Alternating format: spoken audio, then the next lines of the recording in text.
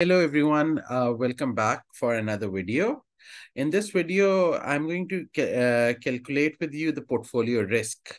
So this video is divided into five parts. The first part has how to calculate covariance given correlation matrix. Second video will focus on the variance covariance matrix creation.